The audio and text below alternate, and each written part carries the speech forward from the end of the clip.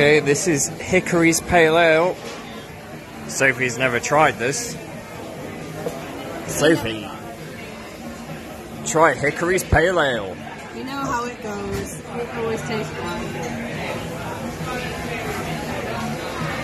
Mm. Swallow.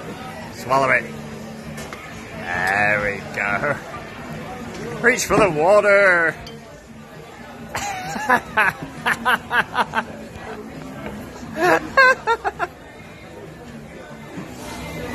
Sophie doesn't like beer.